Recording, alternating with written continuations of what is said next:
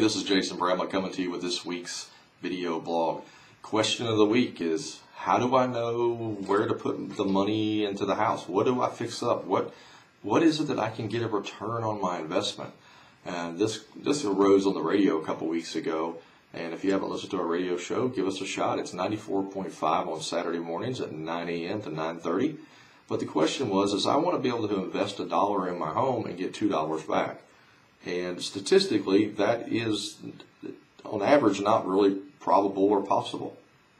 Most of the time, when we put money in our home, we are not even getting 100% of our money back, and we're certainly not going to double it.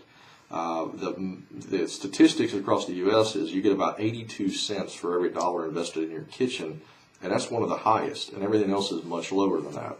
Now, where you can make money in real estate is in buying it at the right price but it's not the improvement that is fixing, uh, uh, raising the value. It is the fact that you just bought the home properly. You bought it at the appropriate uh, price for the condition that it was in. But if I have a home that I just bought, maybe it's five years old, me going in and remodeling the kitchen, um, there probably would be zero to no return on that money simply because the, the it's a five year old kitchen. Where you could see a benefit is if you bought an older home and say the kitchen hadn't been remodeled in 30 years. Well, no matter what you do to it, it should increase the value of the overall home. But sometimes it's still not 100%.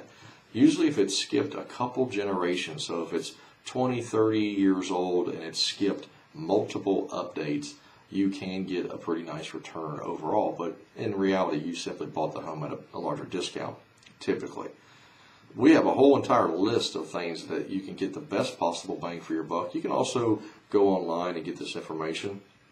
But we um, actually, that's a nationwide study, and we kind of look at the things right here in the triad to tell you, to be able to give you some guidance that if you spend $10,000 in XYZ, how much can you expect to get in return?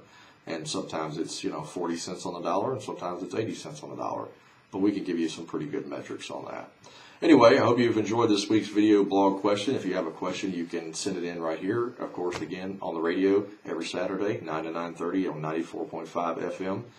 Uh, JasonBramblett.com or call the office, 553-0796. Make it a great week. We'll see you next time right here.